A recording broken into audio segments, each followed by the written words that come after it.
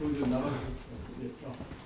여기 이제 회담을 이제 통해서 실질적인 뭔가 결과 남북 당국 사이의 회담을 2013년 6월 12일부터 13일까지 서울에서 개최하기로 합의하였다.